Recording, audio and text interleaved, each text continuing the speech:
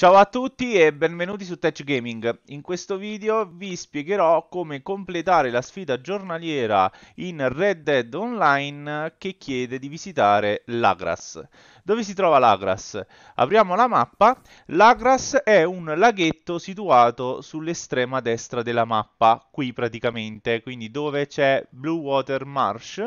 Qui, adesso ve la zoom da lontano e da vicino Dovete praticamente recarvi in questo laghetto per completare la sfida. Quindi una volta che avete settato l'obiettivo, il punto sulla mappa, non vi resta che tenere premuto il touchpad se giocate su PS4 e dare una bella cavalcata al cavallo per poi, diciamo, fermarvi con il controller, quindi prendere il controller e metterlo ad esempio sulla scrivania e il cavallo andrà per conto suo. Quindi una volta che avrete raggiunto quella zona sbloccherete, eh, o meglio, completerete la sfida.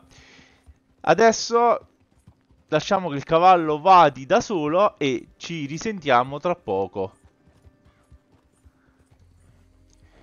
Rieccoci, come avete visto ho completato la sfida una volta che sono arrivato nei pressi di Lagras, quindi questa zona paludosa.